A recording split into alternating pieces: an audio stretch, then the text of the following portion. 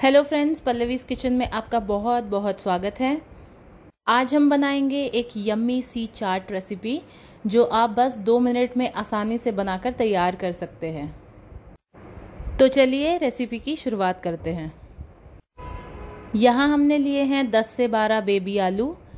ये आलू हमने बॉईल कर लिए हैं। अगर आपको ये छोटे साइज़ के आलू नहीं मिलते हैं तो आप नॉर्मल आलूओं के छोटे पीसेस कट करके उन्हें भी यूज़ कर सकते हैं। इसके बाद हमने लिया है बारीक कटा हुआ एक प्याज। आधा कटोरी हमने लिए हैं नायलॉन सेव। उसके बाद लिया है थोड़ा सा फ्रेश धनिया। मसालों में एक छोटा चम्मच काला नमक, एक छोटा चम्मच लाल मिर्च पाउडर और एक छोटा चम्मच जीरा पाउडर। इसके बाद हरी चटनी। इस चटनी को बनाने की रेसिपी ऑलरेडी मेरे चैनल पे है, आप चाहे तो उसे देख सकते हैं। इसके बाद ली है इमली की चटनी। इस चटनी को बनाने की विधि भी मैंने अपने चैनल पे ऑलरेडी शेयर की है। आप चाहे तो उसे देख सकते हैं। और साथ ही में हमने लिया है दही। अब सबसे पहले ये आलू हम पील कर लेंगे। तो ये आलू अब पील हो गए हैं और अब हम चाट बनाना शुरू करते हैं। चाट बनाते समय सबसे पहले हम प्लेट में ग्रीन चटनी डालेंगे और उसे अच्छी तरीके से फैला लेंगे। ताकि चाट के बेस में भी टेस्ट रहे और वो एंड में फीकी ना लगे।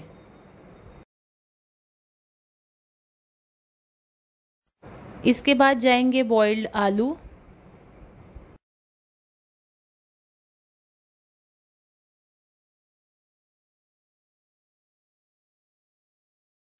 आलूओं के ऊपर हम डालेंगे इमली की चटनी।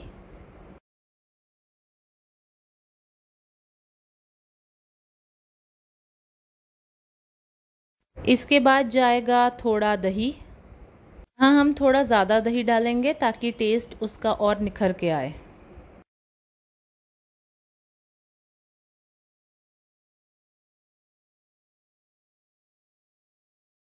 इसके ऊपर से डालेंगे प्याज।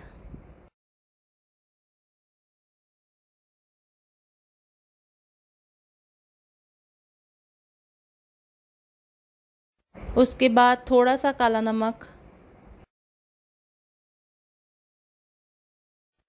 थोड़ी सी लाल मिर्च पाउडर,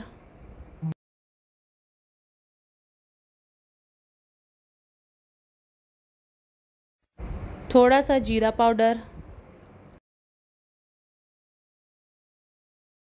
इसके बाद फिर से थोड़ी सी ग्रीन चटनी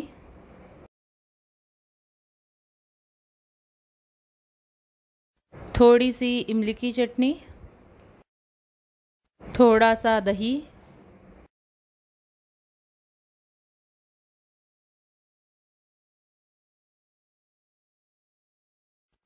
ऊपर से सेव,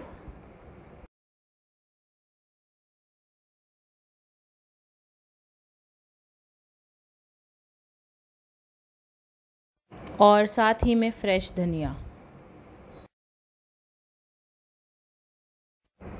तो ये इजी वीजी चाट रेसिपी बनके तैयार है।